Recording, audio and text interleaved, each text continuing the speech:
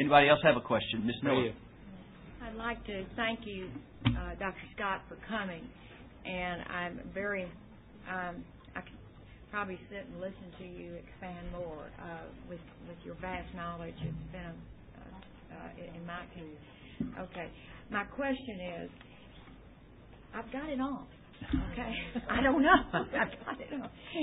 Um, since it's falling down to this issue of the terminology of weaknesses, uh, assuming that this board will vote to add weaknesses, uh, strengths and weaknesses back in uh, from some of the things we're hearing, what is your take on that? And do you feel that um, the um, in, in other words, how do you see that falling out? In other words, well, I think it would be very unfortunate if the board did restore the strengths and weaknesses language. This is about textbooks. This is about two years from now. What will textbook publishers be required to put into textbooks in order to sell them in Texas? That's really what this is about. Um, I have yet to meet a textbook editor who wants to produce a bad book.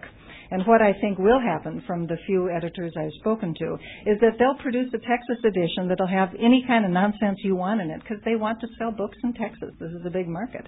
But other, but students in other states are not going to be inflicted with a lot of, of fake weaknesses of evolution like Haeckel's embryos or these other kinds of things that keep being brought up over and over. And I think that would be very detrimental to, to Texas students and I would hope that the board would listen to the scientific and educational expertise and remain with the standards as they're with standards C3A as it is written today.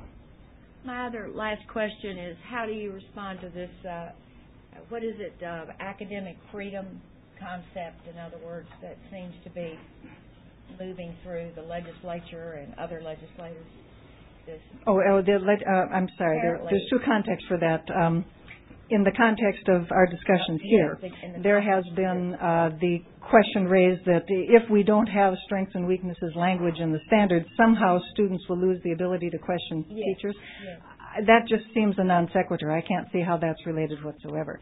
Teachers have a great deal of freedom within a class to uh, bring up issues, to answer student questions. Students have a lot of freedom in the class to question uh, the material in the book, and they will continue to do that. I think, as any teacher will will will attest.